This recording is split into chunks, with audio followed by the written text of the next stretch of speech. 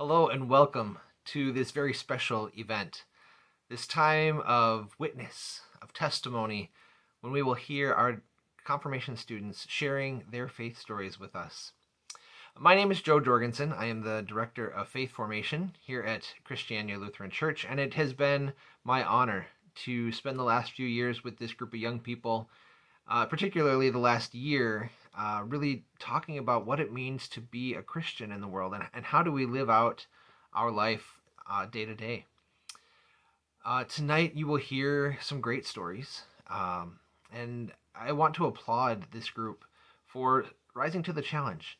You know, sharing our, our faith stories is not an easy task. It can be intimidating. We may not know where to start. Um, and many of us as adults uh, hesitate to jump into you know sharing our faith stories with other people. So I really do want to lift up uh, the, this group of people for uh, for stepping up and for taking uh, you know, having the courage to take this step to share their faith, uh, to to reflect on where they've been and where they're headed in their journeys uh, with God. As you listen to these stories tonight, I would encourage you to reflect on your own faith journey. Think about uh, some of those milestones in your life where you knew that God was truly present. And maybe think about where God is calling you to be in the future. And uh, maybe you'll even feel inspired to share that, that story or some of those uh, reflections with someone else. It can be a great witness, a great testimony, a great model uh, for our family members and friends to be able to share uh, our relationship with God. So uh, I am very much looking forward to uh, to this evening and to these uh, stories, and I hope you are as well. Let us begin with a word of prayer. Most holy God, we give you thanks. We give you thanks for our voices, voices that share our story, voices that communicate our relationship with you. Be with us Help us to have open hearts, open minds, open ears. That as we hear these stories, we might reflect on our own journey. And we might come to grow in relationship with you. Bless this group of confirmands. Continue to wrap them in your embrace. Make your presence known to them on this day and always. In Jesus' name we pray. Amen.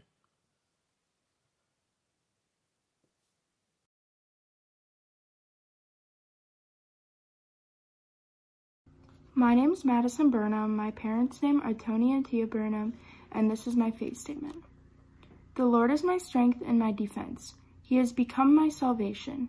He is my God, and I will praise him. My Father's God, and I will exalt him. Exodus 15:2. For me, this verse connects to my life because when I'm struggling, I look for God for answers. Before I started going to church, I didn't really understand what it meant to ask God for help or guidance. After I started going to church, I began to grow a relationship with my faith. The few years of Sunday school I did really helped me understand how amazing God is. But it all started to come together when confirmation started. My faith journey has grown so much. If I'm stressed about something like school, I pray to God for guidance, or if I feel like somebody else needs some help or guidance, I'll pray for them. Going to Sunday worship, Sunday school, confirmation, trips with church, and all of the other little things I have done with church has been one of the most important things in my life. Those things have really helped me understand how amazing my faith journey is and how much I have grown within, and how amazing my God is. My confirmation class may be over, but my faith journey isn't. I'm excited to continue growing my relationship with God and making new memories in church.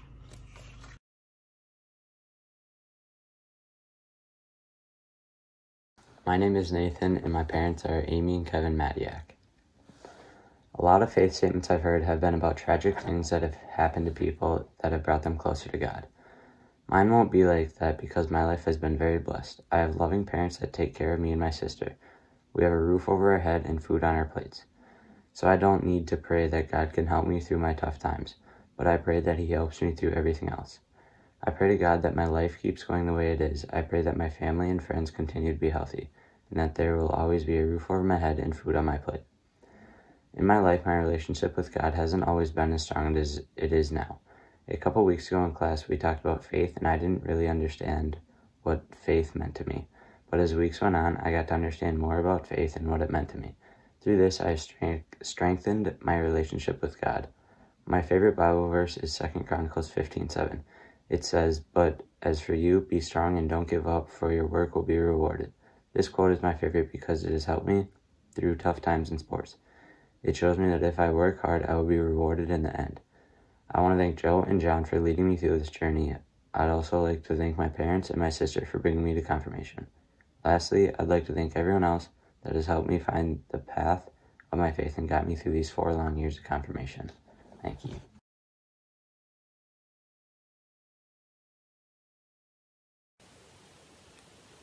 Hi, my name is Jack McGregor. I'm the son of Brian and Sarah McGregor, and here's my faith statement. I have always felt close to God, but sometimes in my life I don't understand what is happening around me. And through my faith journey, I have begun to realize that I need to trust in the Lord and He will show me what to do. A big part of my faith journey has been visiting the residents at Highview Hills. I love to talk with them and listen to the stories they have to share. Visiting Highview brought me closer to God while I talked to my great grandma T and Fred Von Fisher. But sadly, over the past summer, both have passed away. I was devastated.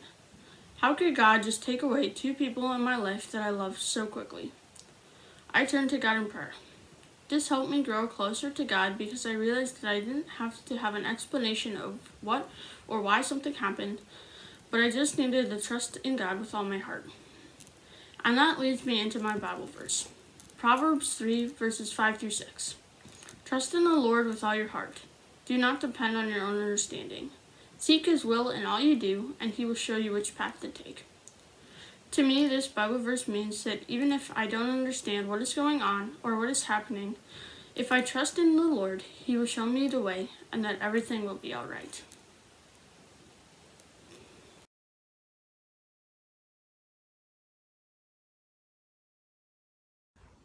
Hello, my name is Pete Rhodes. My parents are John and Missy. My verse I've chosen for my faith statement is Joshua 1 9. Have I not commanded you? Be strong and courageous. Do not be afraid. Do not be discouraged, for the Lord your God will be with you wherever you go. I believe God shows up in things when you need him most, and always believe he will come, is what I saw from that verse.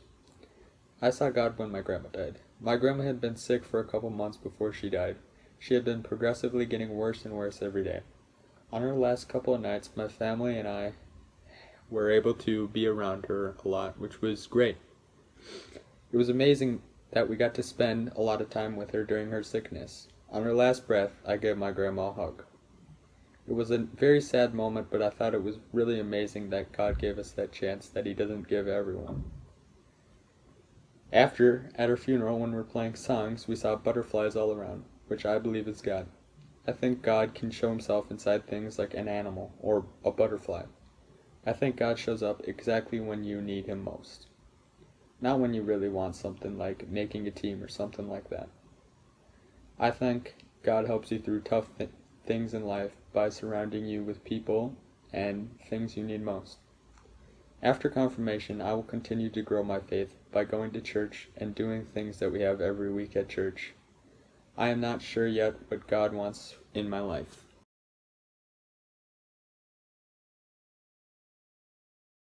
Hi, I'm Whitley Ron and my parents are Lance and Kelly Ron. Faith, by definition, it means a complete trust or confidence in someone or something. But this definition is just from a dictionary. It's just one sentence to sum up a whole journey. This adventure started a very long time ago with my baptism. Even though it was the first step on my amazing faith journey and I cannot quite remember it, it still heavily affected me and is an important milestone. My faith journey continued with my start of Sunday school and weekly Sunday church visits, but today I'm here to talk about God in my daily life. Though God is not shown in gigantic ways, but in small, simple ways. An example is waking up. This is very overlooked, but life is a gift and every day is not promised. But day to day, God gives us it. God has also been shown in many important parts of my life including recently in the past two years, both my grandparents were diagnosed with cancer and sadly passed away. This was a very tragic part of my life for me and my family to go through, but this is the first time I started to question God's methods. But now I look back and realize God gave us a blessing in disguise. I saw this in the fact that I got to spend a multitude of time with my grandparents in their last moments. With them living five hours away, we did not get to see them as often as we would like. But we had a blessing of getting to spend a lot of memories and making a lot more time with them before we lost them. This moment was very impactful on my faith journey and overall taught me that God has a purpose for every task he performs. A Bible verse I would like to connect to my faith journey in this part of my life is Romans 8:18. This says, "The pain you are feeling cannot compare to the joy that is coming." I interpret this as God gave you this life and woke you up today for a reason. No matter what pain you are going through, he has a plan and a goal for you. He believes you can handle the pain and will love the joy that is coming. I, though I have talked a lot about where God has helped me in times of weakness, he has also blessed me with many things, including my loving parents and brother, my friends, and overall the congregation of Christiania, who has helped me throughout this faith journey. God is a person I can depend on in times of need and a person I can thank for times of joy. I will continue my faith journey and better myself along the way. Even though I am not always at church, I can connect to God through prayer and many other ways. This overall faith in God helps me go forward in life. Even when it would be the worst day of my life, I will always have God to look back for guidance and to fall back on. And for this, I'm extremely grateful.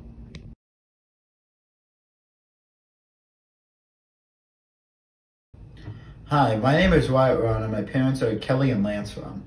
I feel like I've lived a pretty average life when it comes to teenagers in Minnesota. I started going to school when I was young and went up grade by grade each year. I play sports in my free time and socialize when I can. The only thing I think sets me apart from the average kid my age is I experience a good bit of loss. The first time I experienced loss is when my dog Drake died.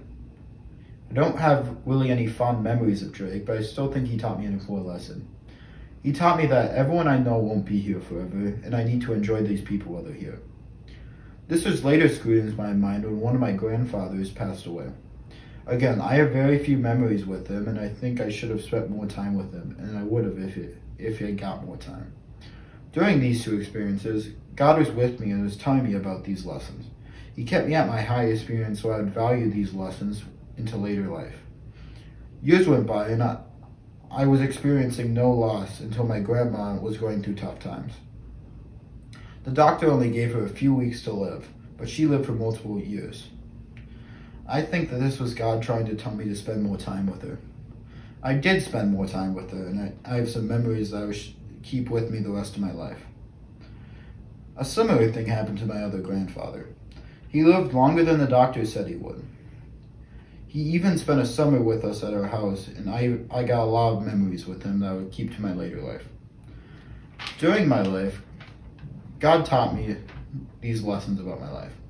He taught me to appreciate people while they're here and remember them when they're not. He gave me more chances to be with my dying grandparents. God helped me get through my tough times and made sure the ones I lost will be with me in my future. I look forward to for God to keep showing him my, life and teaching me lessons that, that will help me for my future.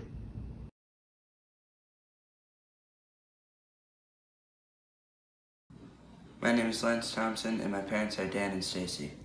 My family has been a big role model for me in my faith journey. I was baptized at Christiania and have attended this church my whole life. My parents got married here, and my grandparents attend this church as well. My church family includes more than just my immediate family. I remember attending Sunday school with many of the people that are getting confirmed right now. I have learned that at church you can find a great community that will help and support you if you ever need it. I have not had any big challenges challenging my faith, but it is comforting to know that I can and will be supported by my family and church community. As life's challenges come my way, I plan to use prayer to help me get through them. I want to use God as my strength to get through both good and bad times. A verse that a verse that reminds me of the importance of prayer and my church community is Psalms 27:14. Wait for the Lord, be strong and take heart and wait for the Lord. This verse has a lot of meaning to me. I wait for the Lord for comfort and support. I will wait. Uh, yeah, I will use this verse along with prayer with for guidance and strength. I am thankful for my church family, for my family and church community, and my faith in God to get me through all things.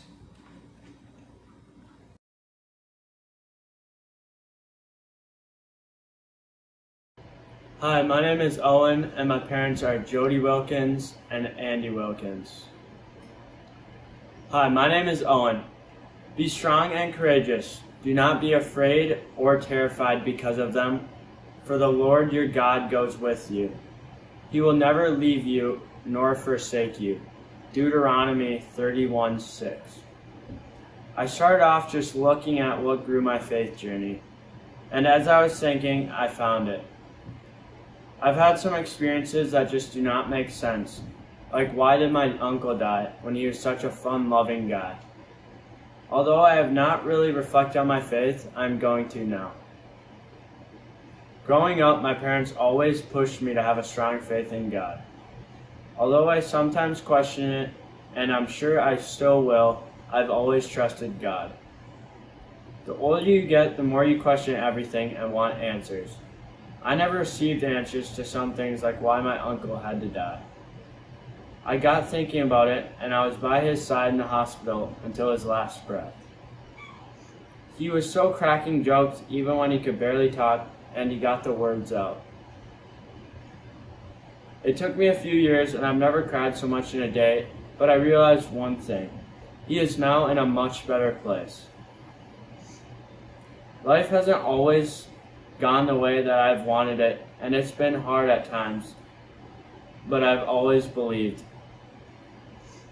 I've always played kids that are much bigger and maybe even stronger than me in the sports, but I pray before some games, and the ones I have, I have done much better, and so has my team. As you get older, you start to realize that God is always there for you, and nothing will ever change that.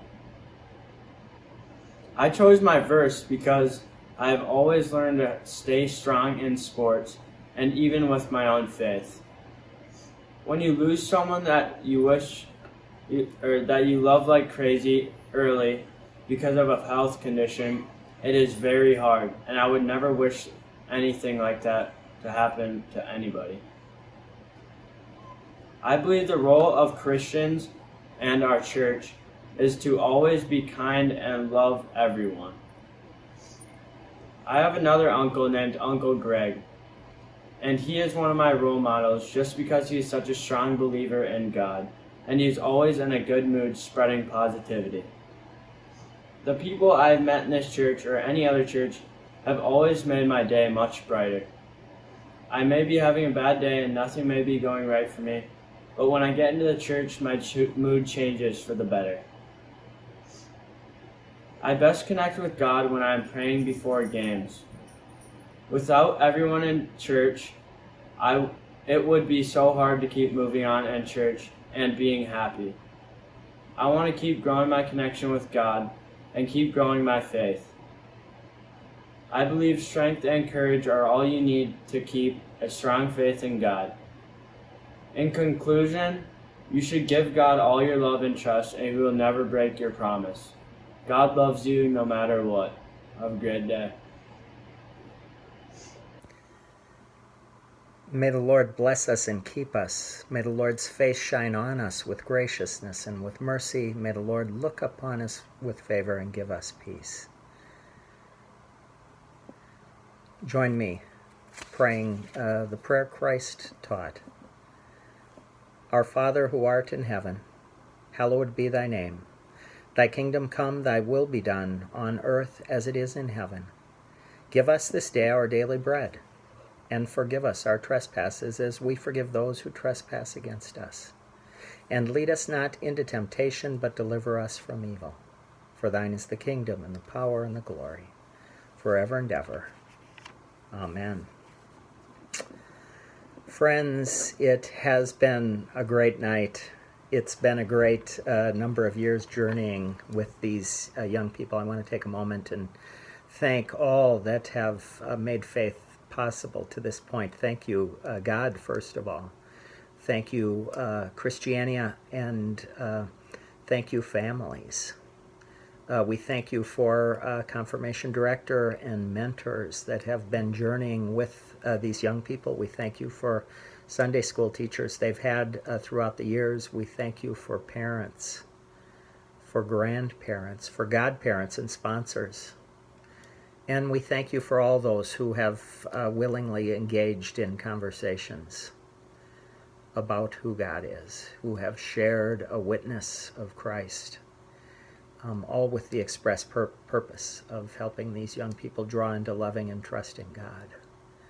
Um, that job continues. It needs to continue for all of us, and I encourage you to continue in those uh, conversations. We call on God's Holy Spirit to empower what's next. I mean, even faith, we believe, is a gift of God empowered by the Holy Spirit. And so let's continue to pray for them that they will um, continue to grow in love and trust, um, that they will uh, not just speak uh, godly things, but do godly things. And I uh, have so much excitement and anticipation for their futures. Um, don't you feel hopeful after hearing uh, their their stories of faith uh, thus far? And don't you want to hear more? I sure do. Uh, one of the blessings uh, that we give uh, each of the young people as they affirm baptismal promises sounds like this. You may remember uh, it from other years. You'll hear it this Sunday. Stir up the gift of your Holy Spirit, the spirit of wisdom and understanding, the spirit of counsel and might, the spirit of knowledge and the fear of the Lord, the spirit of joy in your presence both now and forever. Um, I want to invite you all to join us 11 a.m. on Sunday as our young people affirm baptismal promises uh, parents and sponsors made on their behalf long ago. Um, we'll meet at the church. Uh, let your uh, student know that you intend to come. He can pass it along to us. Or you can uh, register online at christianialutheranchurch.org let us know you're going to be there. Uh, masks are a necessity. We'll uh, practice distancing, and it'll be a great uh, day to remember um, not only our own confirmations, but to remember what it is to be uh, a new adult in the faith, in the congregation. Let's pray uh, together. Thanksgiving for uh, where we are, where we found ourselves, and for what is yet to come. And uh, my prayer on behalf of Christiania is that we do a great job in the days to come of uh, remembering our promise, our part in uh, baptism, to pray and support uh, families, and now to create space for young people, responsibilities and roles to, um, to share, and invitations to send. So I hope you'll join me, uh, not just in congratulating, but into ushering these young people into the next steps of faith as we love and trust God and love and trust people. Amen.